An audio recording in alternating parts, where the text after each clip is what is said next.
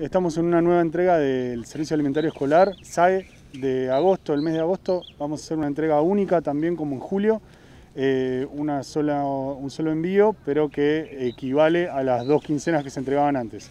Hoy estamos llevando a las escuelas del Delta 900 bolsones que vienen a, sumar eh, a los 150.000 ya entregados desde que comenzó esta pandemia. Esto se puede llevar adelante gracias a la colaboración de muchos actores diferentes, fundamentalmente los directores y los auxiliares y los docentes de cada una de las escuelas, pero también tenemos la ayuda de prefectura, del municipio de San Fernando que siempre nos acompañan, los concejales, bueno, acá Consejo Escolar eh, también. Y como novedad estamos incorporando algunas medidas extras de seguridad para cuidarnos un poco más, que es antes del recorrido este de las bolsas, agregarle un poquito de alcohol en gel en las manos a las personas que lo preparan. También estuvimos tomándonos la temperatura entre todos, justamente para cuidarnos, tratamos de, conservar la distancia social lo más posible y prestar mucha atención en, en los pequeños detalles que hacen que esto sea exitoso y que nos podamos cuidar entre todos. Volver a marcar presencia en la isla es importante siempre, sobre todo con la comida porque muchos isleños no pueden venir para este lado a comprar, la lancha almacenera no está pasando con la frecuencia que pasaba,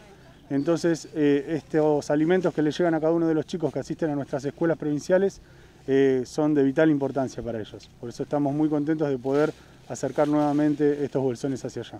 Desde el Consejo Deliberante, desde el municipio, tenemos que dar una mano, para eso estamos, para la entrega a las escuelas de isla en este caso, y bueno, a partir de hoy ya arrancamos otra vez con este hermoso trabajo que tenemos que es eh, la solidaridad de todos los sanfernandinos. Tratar de cuidarnos, de cuidarnos entre todos.